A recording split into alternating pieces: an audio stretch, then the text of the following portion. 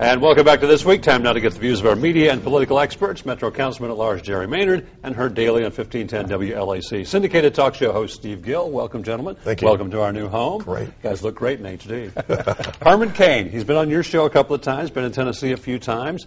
Is he a contender? Is he a pretender? We just don't know yet. I think we really don't know yet. I think he has had a surge, but we've seen surges from Michele Bachmann. We've seen surges from Rick Perry. The key is can he raise the money and elevate his staff? When you're at 5%, the kind of people that want to work for your campaign are different than the ones that want to work when you're leading the pack. The folks that want to write checks to campaigns are a lot more willing to part with their money if you're at 25, 30% in the polls than when you're at 5%. If he can translate his surge into real momentum, and by January, I think all these guys that want to be real contenders are going to have to have about 20 or 25 million dollars in the bank.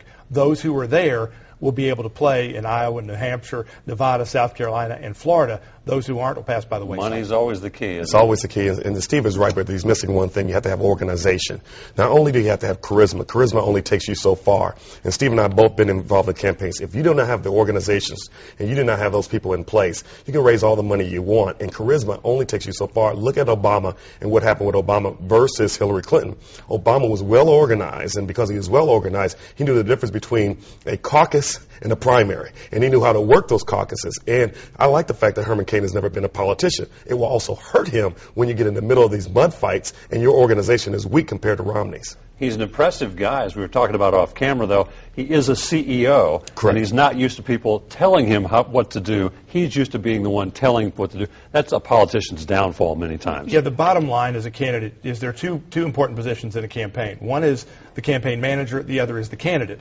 And candidates have to pick which one of those they want to do. If you try to do both, you know, you're looking for failure. You've got to be willing to listen and just be the candidate full time. And I think right now a lot of what Herman Cain is doing is making all the decisions in his campaign. Again, if he can elevate his staff, and the hard part is he's going to be able to pick through a lot more people now that he's at 30% in the polls. Right. But then you got to pick people that are really there for you, not simply there looking, I think this guy can win. I want to ride his coattails But, he, up. but even if he has good staff, you have to be disciplined. And as a candidate, you have to say to yourself, I'm going to be disciplined. I'm going to stay on message. And a lot of mm-hmm. times when you're the CEO, you just say what you want to say with his 'Cause charisma. it's your company. It- It's because it's your company, and you've never been told what to do. You've been telling everybody else what to do. And so you have to be disciplined. I want to know how much money he's raised because that will tell me how disciplined he is in making those phone calls day in and day night to donors. One good thing he is coming about that he is selling is his 999 plan. He thinks this is the way to get us out of this recession that we're in to improve the economy. Other folks are saying, well, this would actually be one tax on top of other tax, depending on which state you live in, which is true. But I guess the question is, at least it's a plan that no one else has put forward. I'm very proud that he put forward a plan, but I went to his website and I got some major problems. If you live in the state of Ohio, you pay a county income tax, a state income tax, four and a quarter in sales tax, and then on top of that, you got to pay a nine percent uh, uh, a sales tax, national sales tax, and a nine percent uh, federal income tax. Now, I haven't seen any exemptions, Bob, on his sales tax. That means that you're going to have somebody making twenty thousand dollars a year will have to pay nine percent federal sales tax on food, clothing, and goods and services on top of the four and a quarter they're already paying, on top of the county income tax, on top of the state income tax. I mean, that's really going to be devastating to people making $30,000 and below. We're hearing so much about fairness, and right now we've got a system in our country where half the people in this country pay 0 federal income tax. They're getting a free ride, and you're watching people out on the Occupy Wall Street uh, hustings saying, that's not enough. We don't want a free ride. We want a free ride, and you give us stuff. I think what you're looking at with a national sales tax is then everybody has a dog in the hunt. Everybody's going to be upset about wasteful government spending because it's their money. Everybody's going to be worried about how we get big bangs for our bucks with what we spend on because it's their money. I think the other thing is when you're taking the tax rates for corporations down from the 30, 35, when you look at the overall tax rate for people in the 50% range, down to that 9% range, whether it's corporate taxes, capital gains taxes, sales taxes, you're actually lowering the tax rate, which keeps more money in people's pockets so they can make decisions based on what they want rather than sort of a tweaking because of the tax code. I want to say what Steve said that they're not paying taxes. They are paying taxes. People making $30,000 and below are paying FICA, Social Security, and payroll taxes. So they are paying taxes. Thank God we do have some exemptions, some, some credits and other things that allow somebody making $20,000 to keep more of their money.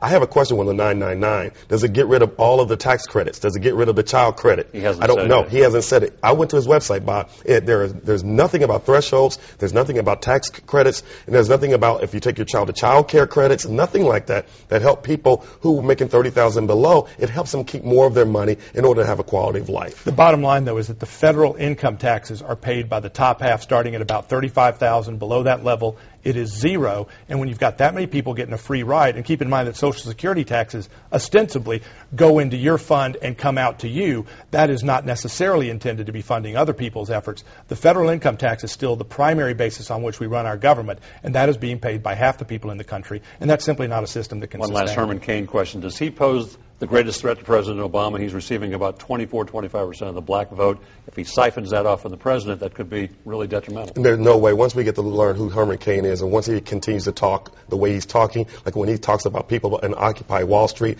that basically if, if you're upset, you should be upset with yourself because if you don't have a job, it's your fault. When people are getting laid off every day, those numbers will go down. They will not go up. What Herman Cain is doing right now is trying to appeal to the base of the Republican Party, and I understand why. As he continues to appeal to that base, more African Americans will say, wait a minute, I don't like this guy. Plus, Obama hasn't been out there against one uh-huh. person. And when it's Obama against one person, Obama's going to rise higher and higher, and the African American community will vote 95% for, for, for Obama in the next election. Well, Herman Cain's correctly pointing out that you are judged by your own responsibility, your own accountability. And a lot of the folks who are on this Occupy Wall Street business are out there literally asking for free college tuition for themselves, asking for something for nothing rather than what we heard from John F. Kennedy years ago. Ask not what your country can do for you, ask what you can do for your country. Nobody out on Occupy Wall Street is talking in those terms. And President Obama, meanwhile, is blaming the American people for being soft, the American people for not doing enough. It's our fault that he's destroyed our economy. I don't think that's going to play with the American people. Where was November. George Bush? Have you guys got amnesia? George Bush was the one that sent this economy into the recession and had record deficit spending, and we had a billion trillion dollars in these wars Wait, wait, that were Record, unfunded. I record deficit spending at two and three hundred billion. Now the new record is Barack Obama at 1.3 trillion, I get that. 1.5 But trillion. You left off a trillion. Because we knew that the private sector could not would not make investments. We had to have the federal government spending money in order to make sure we and they have done such a good job with Solyndra spending a half trillion dollar or half billion dollars Yeah. of our money on failed policies, another billion for another crony system with Well, Obama. I'll give you That's how they spend their money. General Motors. General Motors General has Motors also, and Chrysler have recovered. They, you got to give it to they me. have recovered with They our money and not, they have give it not paid it back. That Yes, is not they true. That is an absolute lie. People can go to my website, gilreport.com. I will post the truth. They have not paid the money back. They've paid part of what they borrowed, but they are not paying their bills. They have not paid the money back, and that is the biggest lie from the They Obama have paid a portion of it back, and now That's they're right. Wait, opening wait, wait. You just said they paid a They- portion of it They're back. paying it back according to the plan that was given to them by the bailout, and so they're paying it back, and they're on time, and they're op- uh, opening up Saturn, creating 1,400 new jobs. Well, there were 400,000 people who lost their jobs last week, Jerry. I'd put the 400,000 lost jobs by Obama last week against the 1,400 he's saying are going to come at we were losing 700,000 jobs per month when, under Bush. We're losing 400,000 per week under Obama. We'll see. Here in Tennessee, Representative Curry Todd was arrested this week. A sad case. Let's talk about that to, first to begin with. Obviously, the man has problems.